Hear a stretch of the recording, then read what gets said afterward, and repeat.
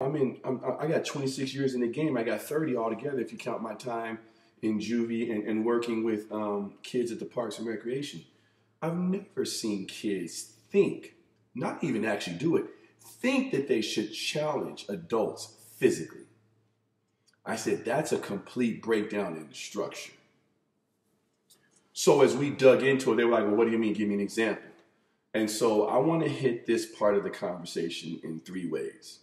I want to talk about the structure of a school, because I am an educator for those of you who don't know.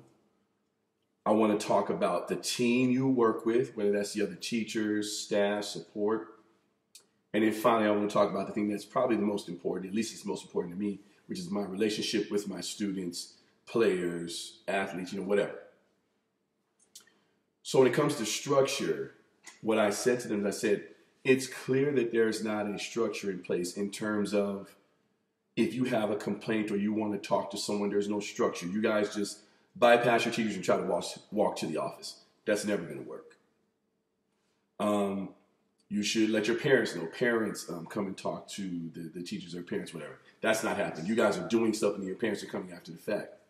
So there's not a clear structure in place. I don't believe that the kids know who all the authority figures are. And that may seem obvious. Well, all the teachers are the authority figures. Yes and no. And what I mean by authority figures is people who the children believe can get things done. That's a very big difference between the person who runs your classroom.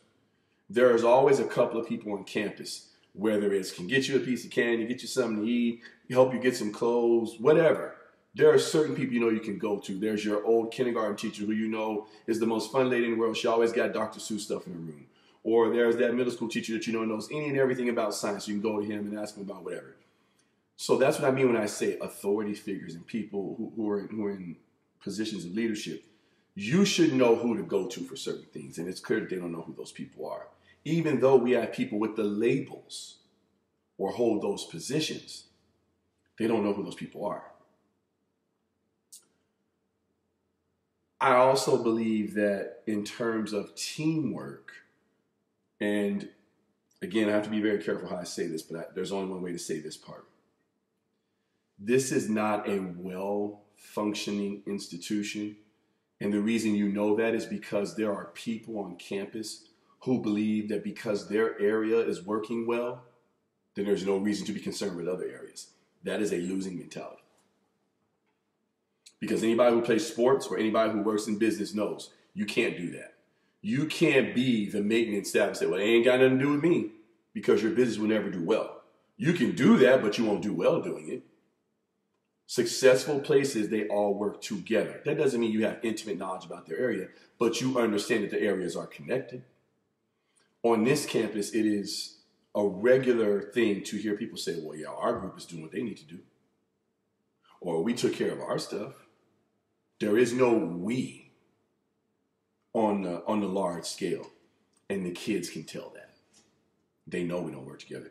And, and so one of the things that's new for them is that I do go and talk to other people and find out from each other. Like, well, how do you know that? I said, because I went and talked to them. They said, well, why would you go talk to them? Because we work together and we're all trying to do the same thing, help kids. And you can see the looks on their faces when they hear that response from me.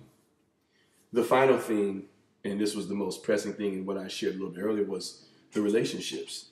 I'm trying to build relationships with students in a, in a way I've never had to do before. By this time of the year, man, I probably know the parents' middle names by now because I've talked to them so much. But because I'm now a special area teacher or an elective teacher, I see kids once a week, most of them, some of them twice a week. So I've not built a rapport. I can honestly tell you it's the first time in my life I don't know all my students' names. Well, there's more than 500 of them, so I don't know all their names. But it, it's so weird to go into a classroom and not know everybody's names. A lot of it is just because, you know, they don't come with name tags or they're all different ages. I service everybody from kindergarten through eighth grade.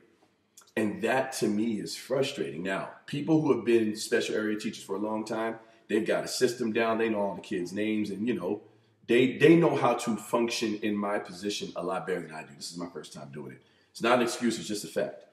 And so my relationships that I have built with these students are far behind where they've been in the past. And so I'm not beating myself up about it, but I am recognizing the fact that it's a far more difficult thing to do as an elective slash special area teacher.